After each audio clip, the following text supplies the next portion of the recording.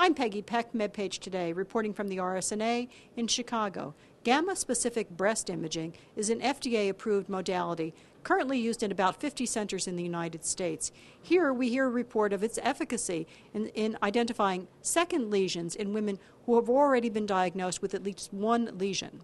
This is a wonderful example of chance favors the prepared mind. This approach to breast cancer diagnosis uses a very safe radio tracer that's been used for decades to image the heart. And during examination of the heart, some astute physicians said, Why is it that some women have this uptake in their breast. And as it turns out, there's a great deal of similarity between cardiac cells and cancer cells in that both of them are metabolically active and both of them have increased blood flow. And as a result of this, this entire uh, research uh, uh, course started out. 85 to 90 percent of breast cancers are mammographically visible, but 10 to 15 percent of breast cancers are not. And in fact, in women with dense breasts, 35% of breast cancers are not mammographically visible. During the BSGI examination, a very safe radio tracer, technetium sestamibi, is injected into the arm, in the vein in the arm. It's a very safe tracer that's been used for decades.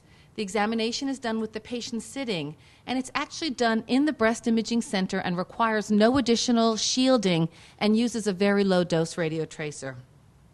The study takes about 40 minutes to complete, and the, the, the, images can be read immediately afterwards.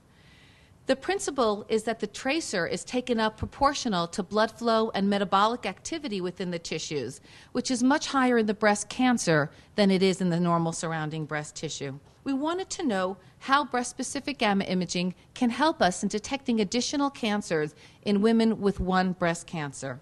And that was the purpose of the study, which we'll, we will be reporting this afternoon.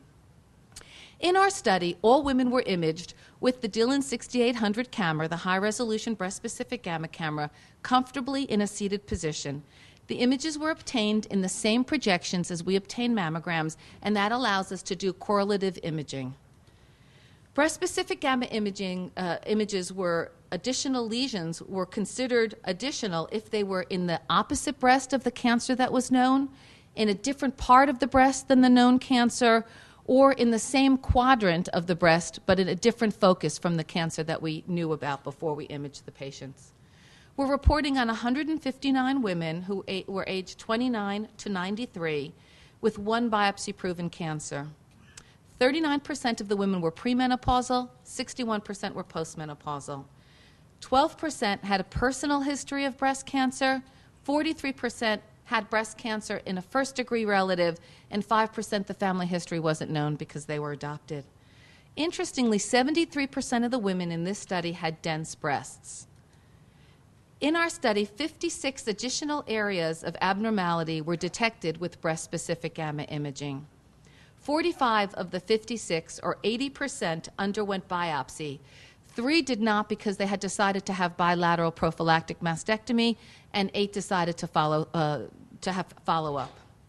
14 of the 45 biopsied lesions, or 29, that underwent biopsy were malignant.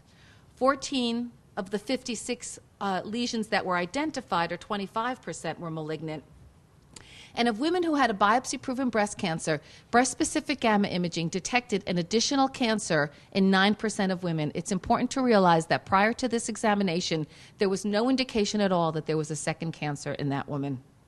So, an imaging modality that appears to be cost effective, comfortable for the woman, and may in fact be helpful in guiding treatment. At RSNA in Chicago, I'm Peggy Peck, MedPage Today.